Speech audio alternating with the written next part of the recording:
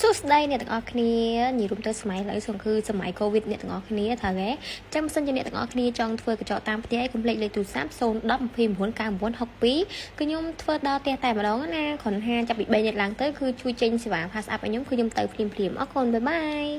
ចាសួស្តីបងស្រីនិយាយរួមទៅមិនមែនមិនមែនត្រឹមតែបងតែម្នាក់ឯងនិយាយរួមទៅគឺគេឲ្យផុស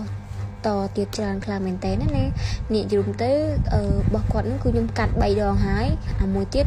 កាត់ហើយវាខ្ចាយទៅដល់ណាបាត់ហើយស្ដាយហើយស្ដាយថារើសមកវិញដែរមិនដែរជើអញ្ចឹងណាគាត់ប្រកែទុកខ្លាំងមែនតើណាដល់អូប្រកែទុកខ្លាំងអេមស្រេមមើលអូយសាហាវនិយាយរួមទៅសម្រាប់បងបងដែលគាត់ ថាខ្ញុំពាក់ស្រោមដៃខ្ញុំចង់ពាក់ខ្លាំងក៏ប៉ុន្តែនៅពេលដែលយើងពាក់ស្រោមដៃទៅ គឺវាពិបាកកាត់វាល្អិលអញ្ចឹងអាចឈាមជើងភ្ញៀវក៏ថាបានដែរអរគុណថាមិនឈឺក៏ពិបាកអរគុណបងស្រីដែលមកពីពេជ្រលៀបមកធ្វើកញ្ចក់ដល់ចកាដងនិយាយរួមទៅមិនមែនមកកាត់ក្រចកទេគឺមកដកកញ្ចក់តែម្ដង